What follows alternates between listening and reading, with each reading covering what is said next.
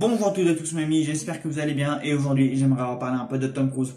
Tom Cruise qui est aujourd'hui un acteur qui a quand même énormément perdu de sa superbe, qui a énormément perdu de son charme, alors pas physiquement parce que c'est un acteur qui est aussi beau que quand il avait une vingtaine ou une trentaine d'années, mais un acteur qui a perdu de son charme au niveau de ses rôles. Voilà, tout simplement un acteur qu'on ne connaît plus pour ses grands rôles construits, performants, intimes. Voilà, si vous bien, si je vous parle de Entretien vampire ou Naka Juillet ou La ferme ou Rescue Business, enfin bref, tout un tas de rôle où il est très intime, où il est construit, où il est même parfois vulnérable, où il est égaré, où il est dirigé du domaine par des réalisateurs comme du prestige, parce qu'il ne faut oublier comme quoi Tom Cruise a tourné pour des Spielberg, des Oliver Stone, des Michael Mann, euh, des Sidney Pollack, enfin bref, il a tourné pour tout un tas de, de Palma, bien entendu pour le premier Mission Impossible, qui est d'ailleurs l'un des meilleurs films d'action euh, de son temps, enfin bref, voilà quoi, Tom Cruise, c'est un acteur qui a une filmographie juste mémorable, mais c'est vrai qu'aujourd'hui, bah, Tom Cruise c'est plus qu'une figure voilà de films d'action. Voilà, aujourd'hui c'est engrenage Mission Impossible, il est tournage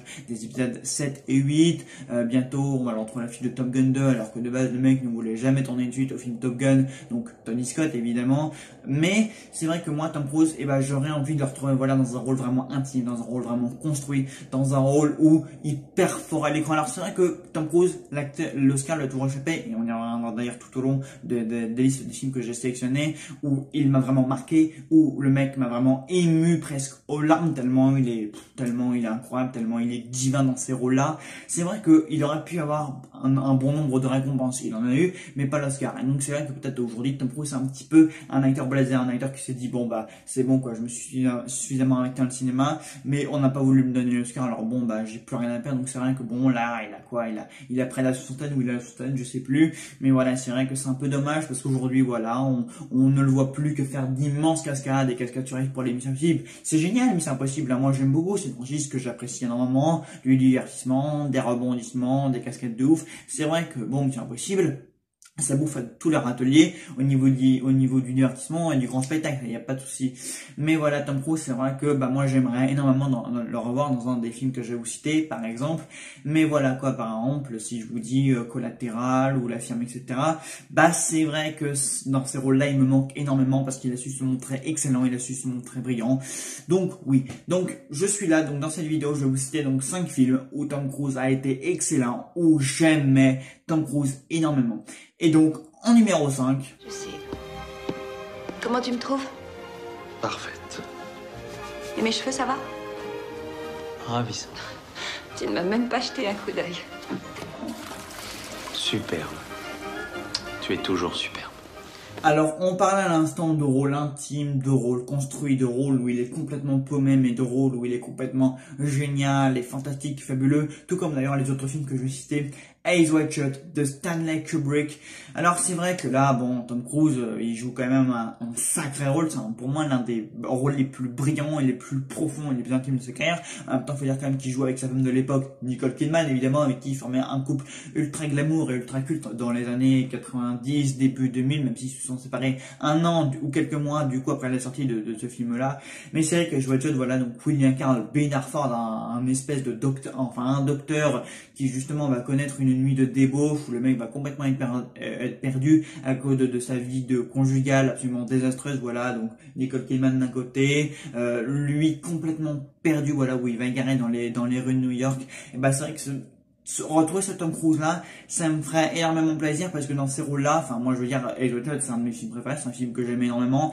Et en même temps, quand on est dirigé par un maître, un génie, un virtuose du cinéma, voilà, un maestro comme Stanley Kubrick, j'ai envie de dire que on ne peut on ne peut que livrer un jeu d'une intensité pareille voilà. Les Shot est connu pour son long tournage voilà. Euh, en même temps euh, Kubrick est allé fouiller farfouiller dans l'intimité le plus complète ce couple glamour de l'époque voilà il avait besoin d'un véritable couple. Il a pris Cruz euh, et Kidman et il en a fait quelque chose d'absolument incroyable à l'écran et voilà quoi. C'est vrai que les Cyan où euh, Nicole Kidman Tom Cruise ils s'engueulent voilà, dans cette chambre avec cette couleur jaune et que Tom Cruise se prend toute une rafale d'insultes comme quoi sa femme elle a eu des fantasmes sur un autre homme et quelques années de ça, c'est absolument incroyable. Même les scènes, voilà, où il, est, où, il assiste un peu à ses rituels sexuels dans, le manoir, c'est juste complètement phénoménal. Voilà, ou même quand il est tout seul et que le mec qui s'abandonne à, des prostituées, etc. sur son chemin, enfin bref. Son esprit, voilà, tout se joue sur ses réflexions, sur les expressions de visage. Et là, bah, quand on voit Tom Cruise pareil, on se dit, mais voilà, c'est cet, cet Tom Cruise là, moi, que j'en adore, c'est cet acteur là, qui a illuminé, voilà, qu'il est tout seul dans la rue, il se balade un peu dans New York, il laisse sa femme à la maison, comme ça, il est complètement perdu, il est complètement égaré dans ses pensées psychologiquement, il a des pensées, il, ne sait plus où donner de la tête, il marche comme ça dans la rue, bref, il, voilà, quoi. Puis bon, voilà, il y a cette caméra de Kubrick qui le suit, il y a une musique accompagne derrière, et puis voilà, quoi, il y a plus qu'à admirer Tom Cruise presque dans tout sa splendeur, parce qu'il y a d'autres rôles que je citais où il est beaucoup plus fort encore ou, ou, un petit peu moins mais bon ça dépend hein, comment il est dirigé etc ou le contexte de l'histoire. Mais c'est vrai que dans les Watch Shots il est juste phénoménal il est profond il est intime. Voilà quoi. On, on voit vraiment que on, on sent vraiment l'alchimie on sent que entre lui et Nicole Kidman dans ce film là il y a vraiment quelque chose de très spécial qui se passe. Voilà on sent que leur couple il se désintègre littéralement à l'écran. Voilà on sent que Kubrick il a vraiment réussi à, à briser un lien euh, conjugal et marital qui est entre eux on sent que les deux, bah, ils en peuvent plus, qui sont investis dans, le film, qui sont investis dans, cette histoire un peu, voilà, de, fantasmes et d'histoires de sexe. En vrai, c'est une histoire de couple, quoi. Et on sent vraiment que Tom Cruise, ce qui se prend dans la tête, comment il est, ses réactions, voilà, quand Tom Cruise, voilà, quand Kubrick fait des longs plans sur son visage, on sent que il est complètement égaré, qu'il est complètement perdu dans ses pensées. Et c'est ce Tom Cruise là, et un Tom Cruise là, et bah, ça ferait du bien de le roi parce que ça fait très très longtemps qu'il n'a plus livré de prestations par voilà, d'homme marital complètement paumé. D'ailleurs, il y a un autre film où il jouait avec Nicole Kidman où il était euh, très bon. Ça s'appelle Horizon lointain. Ça s'appelle Horizon lointain. Bon, là, euh, Horizon lointain se passe dans une époque un petit peu plus vintage, un petit peu plus ensemble. Donc à l'époque un peu, euh, une époque un peu plus victorienne, voilà, avec euh, une reconstitution un peu plus années 70, 60, 80. Enfin là, bref, ils étaient, également très bons dans ce film-là. Mais bon, c'était avant qu'ils soient ensemble.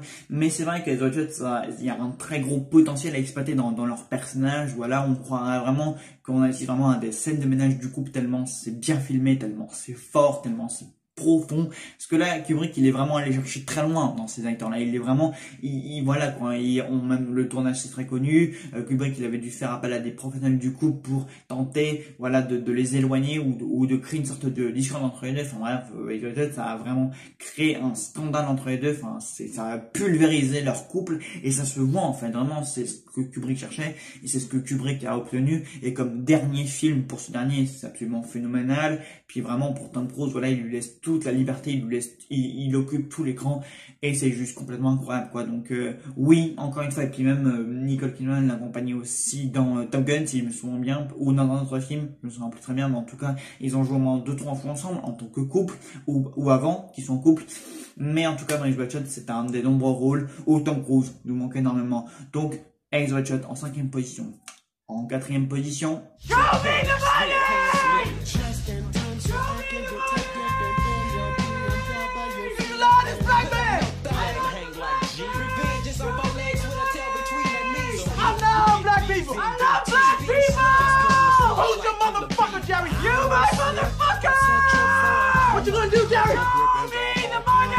Alors là, on n'est plus vraiment dans un rôle intime, on n'est plus dans un rôle en roue libre où euh, Tom Cruise, il est déchaîné. Voilà, il est déchaîné, il est totalement roulé, voilà, il se défoule.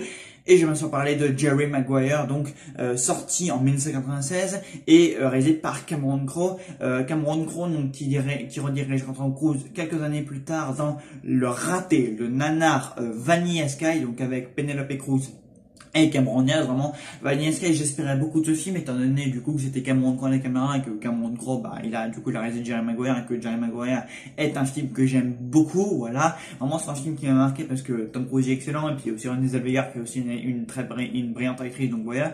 Et en voyant Vanilla Sky, bon, là, par contre, j'ai pas du tout le même ressenti, j'ai trouvé ce film absolument catastrophique, voilà, l'histoire, elle tenait pas du tout la route, le montage, le retournement, bref, c'était, pour moi, c'était véritablement catastrophique, et pourtant, on a quand même un tandem d'acteurs, un c'est incroyable. Enfin, il y a quand même Kurt Russell aussi dans ce film, donc euh, c'est vraiment dommage que le film se soit bien planté. Mais voilà quoi, Jerry Maguire, c'est aussi un petit peu Tom Cruise qui nous manque parce que Tom Cruise, il est enrôlé, voilà, la scène du téléphone où il se déchaîne, voilà, c'est l'histoire de, de cet homme un peu de, cet homme d'entreprise, de cet homme d'affaires qui décide de tout plaquer et de repartir un peu à zéro. Vraiment, il là-dedans, il est juste excellent quoi. C'est un homme indépendant, c'est un homme en puissance et euh, Tom Cruise, euh, il fait voir vraiment de quoi il de quoi euh, il est capable. Voilà, un homme indépendant qui va donc nouer une relation avec donc sa secrétaire donc Renée Zellweger.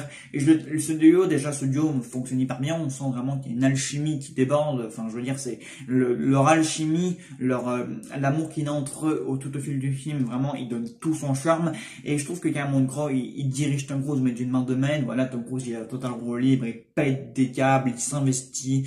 Il, voilà quoi, il divertit son public, il divertit son audimat et en même temps il livre une performance juste hallucinante. C'est vrai que bon, c'est vrai que sa performance c'est pas ça, c'est pas l'une des meilleures de sa carrière, mais c'est un rôle pour moi qui pour moi euh, est très important dans sa carrière, voilà, parce que Tom Cruise c'est vrai que c'est un acteur qui a vraiment toujours su se défouler, voilà, quand il faut jouer un personnage puissant, volontaire, indépendant, investi, bah Tom Cruise il sait jouer ça, voilà, il sait jouer les les, les personnages totalement libres, totalement euh, en roue libre qui se déchaînent, bah Tom Cruise il sait jouer ça, il sait jouer énormément de choses, et là il prouve qu'il peut être juste phénoménal, il prouve qu'il peut être vraiment dingue, il prouve que, puis même le film quoi. Il est vraiment très bon aussi, quoi. Enfin, je veux dire, moi, Jerry Maguire, c'est vraiment un film qui m'a fasciné, qui m'a captivé, parce que, voilà, quoi, Tom Cruise, voilà la scène où il quitte euh, son entreprise, voilà, où il demande aux employés, mais qui veut se joindre à lui, qui veut se lancer dans cette nouvelle aventure avec lui, bah, il est juste excellent, voilà, la scène du téléphone, même les scènes vers la fin, etc. Enfin, bref, il y a tout un tas de scènes qui, qui, qui, me sont en tête, qui me reviennent en tête, parce que, voilà, le film est juste extraordinaire, et Tom Cruise, il est excellent, voilà, parce qu'il est vraiment, on le sent vraiment investi, on le sent vraiment en roue libre, on sent qu'il est plein d'expression, qu'il est plein de vie, qu'il est plein d'énergie, qu'il est plein de dynamisme, etc. Et c'est pas souvent qu'il est comme ça. Hein. Là, en plus, on est avant les Watch on est avant tout ça. Donc c'est vrai que Tom Cruise, il est pas souvent comme ça, il est pas souvent, en, il est pas souvent déchaîné, mais on sent presque que Jerry Maguire, c'est presque un défouloir pour lui, quoi. Il est juste phénoménal. Enfin, il est peut-être pas phénoménal, mais en tout cas, on sent vraiment qu'il a que, que, son, que ce personnage-là lui va, que ce personnage-là lui correspond. Donc oui, Jerry Maguire en quatrième position, parce que vraiment, bah, c'est génial, tout simplement. Et le film aussi, il est génial. Et j'en profite d'ailleurs pour dire que Renée Zellweger est pour moi une actrice très sous-estimée. Voilà. On sait que vous voulez Il faut y réfléchir. Docteur Brunner, réfléchissez. Ou alors on peut s'arranger à la mienne. Je ne pense pas que vous ayez une idée de la gravité de l'état. Là, des cure-dents. Des cure-dents. Il a besoin de cure-dents. On peut les lui apporter Ouais. Et je ne pense pas que nous puissions convenir d'un arrangement quelconque. Puisque c'est ça, rendez-vous au tribunal. Alors pour la troisième position, donc j'ai choisi un film pour moi assez sous-estimé. Voilà, un film dont on ne parle pas assez, qui est pour moi juste bouleversant, euh, tragique, mémorable, etc. En plus, on a quand même un Dustin Hoffman en énorme forme. Voilà, Dustin Hoffman dans le rôle d'un autisme qui ne sait pas qu'il a un frère. Voilà, il a hérité de la fortune de son père décédé. Et Tom Cruise va faire la connaissance de son frère parce qu'il ne savait son personnage, donc Charlie Babbitt ne savait pas qu'il avait un frère. Du coup, c'est aussi l'histoire de deux frères qui vont apprendre à se connaître, qui vont apprendre à, cohabiter. Voilà, ils vont faire un long road trip ensemble, mais ça va être juste génial. Et quand Barry Levinson, le réalisateur de Avalon ou même de Sleepers, livre une des plus grandes histoires de famille de deux frères qui ne se connaissent pas encore, ça donne l'excellent, le brillant, le sous-estimé, le, un film qui est juste à pleurer, Rain Man, voilà, sorti donc en 1988, voilà, pour moi, où Tom Cruise, il était juste excellent, voilà, ces années-là, vraiment, Tom Cruise, il, était au top, il était à sœur de gloire, enfin bref, il était juste au, centre de toutes les attentions, un petit peu comme aujourd'hui, mais dans un genre, dans un registre beaucoup différent, et c'est vrai que Rain c'est un des films avec Tom Cruise que j'ai le plus vu, je pense, avec un ou deux autres films de lui, mais pour moi, Rainman, voilà, quand il donne la réplique à Dustin Hoffman, c'est juste magique, c'est juste à pleurer, c'est juste très beau, voilà, parce qu'effectivement, on est sur Tom Cruise, voilà, qui est juste un con, voilà, un connard, voilà, un mec qui a tout réussi, qui est blindé de thunes, qui a une belle petite amie, etc. Et puis du lendemain, sa vie va, va, va totalement bouleverser parce qu'il va rencontrer donc Dustin Hoffman, à savoir euh, Raymond, voilà, donc un, un, un, homme autiste, mais particulièrement intelligent, voilà, qui un homme surdoué, un intellectuel, qui est finalement plus intelligent que lui, alors qu'il est autiste, vous voyez un peu l'ironie du l'ironie du sort. Et finalement, bah, il va prendre que ce frère qu'il ne connaissait pas a réalité de toute la fortune de son frère et il va décider de l'enlever et d'apprendre un peu à le connaître pour euh, voir s'il peut pas bah, toucher le pognon que Raymond a, eu et pas lui parce que bah, le personnage de, le personnage de Charlie Babbitt qui a, a, il avait une relation compliquée avec son père, donc forcément c'était un peu compliqué et voilà donc toute cette histoire en fait entre ces frères qui ne se connaissent pas voilà entre un autiste entre un autiste super intelligent, euh, hyper bien incarné par Dustin Hoffman qui est juste vraiment bon, qui a eu l'Oscar pour le coup, et Tom Cruise n'a toujours pas d'Oscar, voilà, et pourtant c'est vrai que l'Oscar, encore une fois on le répète, mais il a vraiment pas souvenir, et pourtant aussi que Tom Cruise l'a mérité, et bah peut-être que pour le coup pour ce rôle-là il aurait, il aurait aussi mérité parce qu'il est juste très bouleversant, voilà, petit à petit, les deux frères vont, vont, vont, apprendre à se connaître, vont apprendre à cohabiter, voilà, ils vont faire un long voyage ensemble, ils vont apprendre à s'apprécier, ils vont apprendre à se connaître, etc. Et ça va juste être une jolie aventure, une jolie histoire de famille, une jolie histoire entre deux frères qui bah, vont prendre à, à, connaître et à s'adapter à chacun de leurs défauts parce que mine de rien, même Charlie Babbitt n'est pas autiste, et bah, il a quand même de nombreux défauts. Voilà, il est arrogant, il est stupide, il envoie chez boule sur enfin bref, il fait n'importe quoi. Voilà, il ne se rend pas compte en fait de, des responsabilités que ça a d'avoir un frère pareil. Mais voilà, c'est un duo juste qui déborde d'alchimie, qui déborde d'amour. C'est un film très bouleversant. Moi, quand je l'avais découvert, je avais pleuré parce que voilà quoi, c'est c'est le genre de film qui émue, qui, qui, qui, qui laisse une trace pour nous, voilà, qui nous remet en question. Et c'est pour moi une des plus, un des plus beaux rôles de Tom Cruise. Voilà un personnage construit, voilà un personnage idiot, mais qui va prendre un peu à réparer ses erreurs et apprendre à aimer ce frère qu'il ne connaissait même pas. Et voilà, quand même, l'affiche, pour moi, elle en dit vraiment long, quoi. C'est ces deux frères, voilà, qui, qui marchent, qui, qui, qui marchent, voilà, il y a plein d'arbres tout. Moi, j'adore en plus l'affiche, etc. Enfin bref, les, deux livrent des prestations juste absolument incroyables. Bon, c'est vrai que Dustin Hoffman l'emporte totalement sur Tom Cruise. Là, on est d'accord, mais bon, Dustin Hoffman, en même temps, un, un, lecteur de Tootsie, d'alerte etc enfin bref Dustin Hoffman c'est pas non plus n'importe quel acteur. Et puis bon il était il avait il était quand même d'une autre autre autre que Tom Cruise même si Tom Cruise est excellent dans ce film là Dustin Hoffman quand même l'emporte légèrement. D'ailleurs Dustin Hoffman, encore une fois, aura la récompense, c'est d'ailleurs totalement mérité, voilà, parce que moi, il y a une scène qui m'a absolument marqué, voilà, ils sont dans, dans, dans cette chambre d'hôtel, et euh, bah, il, se passe un accident, enfin, un petit accident, et juste, Dustin Hoffman se met à, à crier, voilà, dans tous les sens, et du coup, il y a la, le, il y a le silence complet, on voit Dustin Hoffman qui complètement, euh, qui est complètement dégénéré, parce que, il, voilà, il y a un problème dans, dans l'appartement, et Tom Cruise est juste oublié de le secourir, etc., enfin, bref, c'est une scène qui me fait pleurer parce qu'on voit un peu le comportement, l'état grave de, de Raymond justement. Et pour moi, c'est juste un film juste magnifique, juste tragique, qui met les larmes aux yeux, une magnifique histoire, une très très belle histoire, voilà, profonde, etc. Enfin, il y a aussi la scène où ils sont à Las Vegas, etc. La scène du casino, bien entendu. Bon, il y a évidemment leur, leur comique comique du coup, le personnage de, Raymond, voilà. Euh, bon, c'est vrai qu'il y a quelques ressorts comiques, voilà. le, film se permet ça, voilà. Barry Levinson se permet ça. Barry Levinson est quand un sacré réalisateur aussi. Mais voilà, quand on est vraiment sur une histoire touchante, un film grand, grandement sous-estimé pour moi. Voilà, mais Redman est un de mes films préférés avec Tom Cruise. Mais c'est vrai qu'il y en a comme deux autres qui ont une impression qui sont encore plus excellents pour moi, je trouve. Mais voilà, quoi, enfin, je veux dire, Redman, juste bouleversant, magnifique au possible. Et, enfin, Tom Cruise, encore une fois, c'est, dans un rôle comme celui-là qu'on, qu'on voudrait qu'on, qu'on, voudrait le retrouver, parce que ce rôle-là de Charlie Babbitt, bah, il manque grandement à l'appel, voilà, aujourd'hui.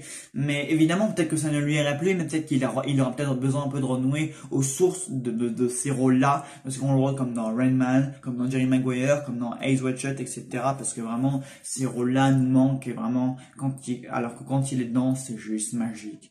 Enfin bref, donc Rain magnifique. Et donc en deuxième position. Hey, come on, I'll take.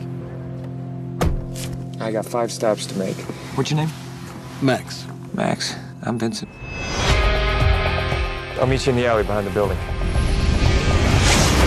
Oh no! What the hell? You killed? Red light, Max. Hold on, hold on. Man, you were gonna drive me around tonight and never be the wiser, but we're in plan B. Alors là, c'est vrai qu'on est un peu moins dans l'intimité, dans la construction, mais pourtant, quand un réalisateur qui s'appelle Michael Mann, voilà, qui a réalisé des Manhunter, des Miami Vice, des Hits, des tout ce que vous voulez, qui dirige Tom Cruise, et ben ça peut juste donner un excellent thriller, un peu d'action avec tout un tas de scènes de suspense qui s'appelle Collatéral. Et c'est vrai que, bah, mine de rien, c'est vrai que Tom Cruise c'est un peu la première fois qu'on est dans un rôle un peu d'antagoniste, un peu méchant, une espèce de tueur à gage, une espèce de justicier un peu maléfique, voilà, qui va s'emparer du taxi de Jamie Foxx, voilà, qui est là aussi dans un de ses meilleurs rôles. Mais c'est vrai que Collatéral c'est juste un, excellent thriller, voilà, un thriller nocturne où Michael Mann va balader la, la hauteur de Jimmy Fox un peu dans les rues de New York, voilà, où Tom Cruise va commettre tout un tas d'actes et de délits, etc. Voilà, ils auront tout un on aura tout un tas de péripéties euh, tout au long du film qui vont juste être excellentes. Puis on aura cette fin, ce climax qui te fout bien le, le cœur, voilà, en palpitation, voilà, parce que tu le, voilà, vraiment, ce, il y a une centrique en plus avec les personnages de Jamie Foxx qui vont parfaitement en place à la fin du film. Puis après, on a cette scène de fin magnifique avec Tom Cruise. Enfin, moi, je vais pas vous relever pour ce qu'on n'a pas eu. Les collatérales, c'est juste phénoménal. Et c'est vrai qu'on n'avait jamais vraiment vu Tom Cruise en puissance dans un rôle un petit peu d'antagoniste, un rôle un petit peu de méchant. Enfin, c'est pas un méchant, mais il est pas non plus gentil, quoi. C'est pas l'homme qu'on, du coup, qu'on connaissait dans Rain Man ou dans Jerry Maguire ou dans les autres quoi. Là, c'est vraiment un homme, voilà, un tueur gage qui commet d'horribles méfaits. Et voilà, donc, il va prendre en charge, donc, le taxi de Jamie Foxx pour la nuit. Et les deux vont évidemment nouer une petite amitié, etc. Enfin, voilà, une sorte de relation. Mais voilà, quoi, collatéral, c'est puissant. Voilà, c'est palpitant il y a plein de suspense, c'est bien réalisé, puis bon, Michael Mann, quoi, vraiment, voilà, comment il met en scène la scène finale, le climax, etc., enfin, avec le, histoire de temps, enfin, bref, il y a une histoire en qui s'enchaîne, etc., enfin, il y a des scènes vraiment où notre cœur, il bat tellement t'es dans le film, quoi, tellement t'es emporté, etc., enfin, bref, à côté, euh, il y a des films, d'ailleurs, Jason Statham, il fait un caméo, Le Transporteur, ça, par exemple, à côté, c'est totalement nul, enfin, bref, le film est un peu dans la veine d'un Taxi Driver, par exemple, avec euh, De Niro, etc., ou donc un conducteur enfin bref, tout le monde connaît Jackson River, mais voilà quoi, pour moi Collateral c'est encore un bon rôle. Où Tom Cruise est un peu dans un film d'action mais à la fois dans un thriller, et c'est vrai que si, euh, pour le coup, Tom Cruise, je le vois bien, je le verrai bien rejoindre un petit peu ce genre de rôle là, où il est pas, où, il a pas forcément de personnage très profond à jouer, mais il a quand même, où il a quand même une sacrée présence, où il a quand même un sacré charisme, parce que vraiment je serais pour le coup curieux de, de le revoir un peu dans ce style de rôle là quoi, où pour le coup il a pas grand chose à jouer, mais pour le coup c'est juste la direction d'acteur, les expressions visage, comment il est habillé, comment il joue, comment il agit, etc. C'est ça qui fonctionne vraiment dans le film. Puis même Jamie Foxx, qui on voit quand même qu'il a investi. Puis voilà quoi, ça fait, ça ferait vraiment du bien de le revoir sur une grande direction d'acteur, etc. Parce que voilà, même quand il est pas dans un rôle très profond, très endurci, etc. Bah le mec, vu qu'il a quand même un sacré charisme, il a quand même une sacrée présence, hein, une sacrée performance dans ce film-là, sans pour autant avoir de personnages à jouer, et c'est ça qui fonctionne très bien. Donc oui, Collatéral, et je serais très curieux de revoir un peu Tom dans ce style de rôle-là, parce que bon, Collatéral, au-delà de adorer le film, voilà, j'ai vraiment été pris de temps, parce que c'est, encore une fois, c'est juste un film phénoménal, façon Michael Mann, un sacré réalisateur, c'est indéniable, hein, voilà, euh, renvoyer Miami Vice, renvoyer Manhunter, euh, renvoyer Hit avec De Niro et Val Kilmer, mais voilà qu'on est juste sur un film d'action qui se déroule de nuit à New York, c'est c'est grand, on a des petits retournements comme ça, train de péripéties, le film vraiment crescendo, puis la fin, encore une fois, la fin, je suis obligé d'insister sur cette fin, voilà, qui est juste phénoménale, ou avec cette mise en scène un peu dans le métro, enfin bref, c'est, pour moi, c'est de la maestria, c'est, c'est magique, c'est incroyable, c'est intense, c'est un film très intense, c'est un, film duquel on ne peut pas décrocher, et voilà, quoi, quand il y a le jour qui se lève à la fin, avec le, métro comme ça qui, qui s'en va euh, à l'horizon en, en, en, second plan, c'est juste magnifique. En plus, faut quand même rappeler que bon, Collatéral, donc qui sort quand même du Dernier Samouraï, donc de Northwick est quand même un excellent film d'action, je le reconnais, bon, euh, le Dernier Samouraï c'est un film qui a ses failles, qui a ses défauts, mais globalement, euh, niveau spectacle, niveau scène d'action et, niveau prestation de Tom Cruise, on est quand même sur du, du, très très lourd. Et puis après, donc après Collatéral, ce sera La guerre des mondes de Spielberg, vraiment, bon après Spielberg il avait, il avait déjà joué avec lui pour l'excellent et sous-estimé donc film de science-fiction Minority Report. Mais c'est vrai qu'entre bon euh, le Dan Samurai, Collatéral et La Guerre des Mondes, donc quand même sur des rôles relativement opposés. Voilà, il joue un guerrier dans le Dan Samurai, il joue du coup un tueur à gage, euh, il joue un, du coup un gentil méchant tueur à gage dans euh, Collatéral et il joue un père de famille un peu loser dans La Guerre des Mondes, mais qui va devoir sauver sa famille dans, dans, dans ce film-là. Donc c'est vrai qu'au moins c'est un rôle aussi, il, il, il, se diversifie un peu de temps. Donc quand même, pour réussir à construire des personnages comme ça, vraiment sur trois films différents, sur trois registres différents, à savoir le film de guerre, le film un peu thriller nocturne et euh, le, film blockbuster, etc. à Spielberg, bon, faut quand même en avoir sur le capot pour arriver à se diversifier, pour réussir à, à, construire des personnages pareils, voilà. Donc on doit quand même ça à Tom Cruise, mais oui, pour moi, corps latéral, c'est vraiment un rôle qui, pourrait encore aujourd'hui aller à Tom Cruise. Et c'est, pour ça que ce serait vraiment bien de le revoir dans ce rôle-là, quoi. Et enfin, en première position,